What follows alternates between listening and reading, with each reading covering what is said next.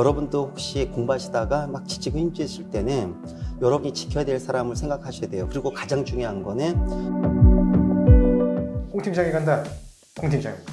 가을에 공부를 하려니 마음도 안 잡히고 여러분들의 멘탈 흔들릴 때가 됐죠. 그래서 동기부여를 할 수 있도록 제가 교수님들의 응원 메시지를 담으려고 이 자리에 왔습니다. 그럼 어떻게 담을 것이냐? 이 쇼케이스 안에 교수님들의 응원 메시지와 폴라로이드 사진을 찍어서 자습실에 둘 예정입니다. 본격적으로 응원의 메시지를 담으러 가보도록 하겠습니다.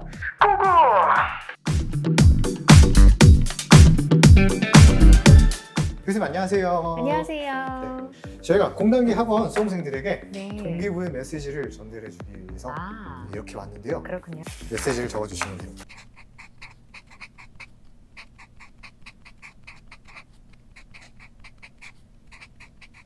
한 가지 더 있는데요. 사랑하는 수험생 여러분, 어, 단군 신화 아시죠? 거기 보면 어, 사람이 되고 싶었던 호랑이와 곰이 쑥과 마늘을 먹고 견뎌야 하는 시간이 등장해요.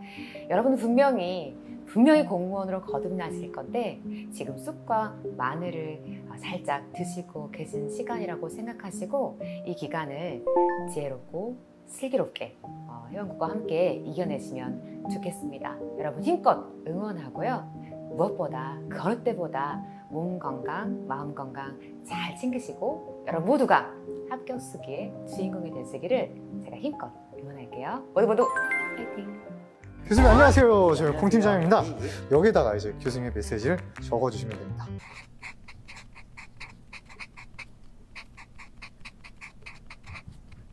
폴라로이드 얼마 만에 찍으러 오세요? 예, 뭐 10년 넘죠? 아 정말요? 김치 제가 지금 쓴 내용은 딴 게 아니라 힘이 들 때 여러분이 지켜야 될 사랑하는 사람을 생각하라고 했습니다.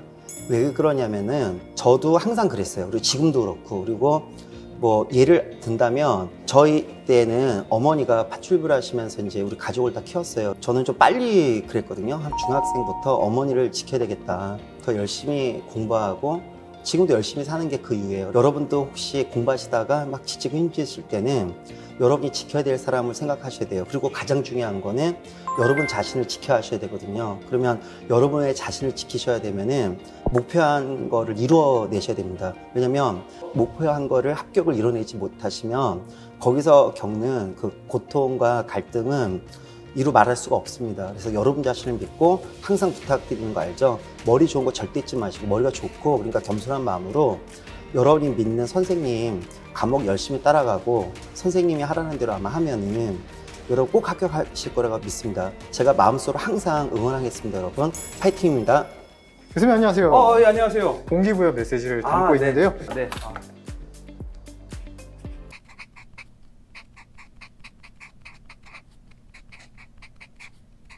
하나, 둘. 아마 요즘 코로나다 뭐다 해서 아마 공부하시기 쉽지 않으실 겁니다. 하지만 너무 걱정하지 마십시오. 수험을 잘 아는 제가 여러분들에게 끝까지 함께 해서 여러분들 합격을 도와드리도록 하겠습니다. 힘들어하지 마시고 여러분 곁에서 늘 많이 도와드리겠습니다. 수험생 여러분들 화이팅! 안녕하세요. 네, 공 팀장입니다. 네. 네. 안녕하세요. 혹시 공 팀장이 간다고 보셨나요? 네, 맞습니다. 아, 네, 안 보신 것 같은데요. 이번에 꼭 봐주시기 바랍니다. 이 여기다가 이제 메시지를 적어주시면 되는데요.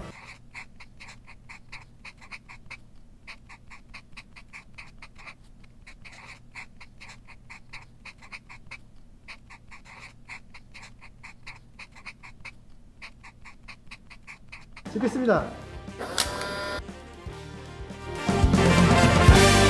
세 분이서 같이 응원의 메시지 다가오는 2022년 공단긴 수험생 여러분들 모두 합격하세요.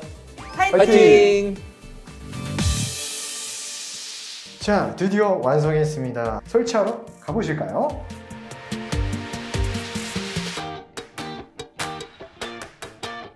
설치를 했습니다. 수험생 여러분들, 파이팅!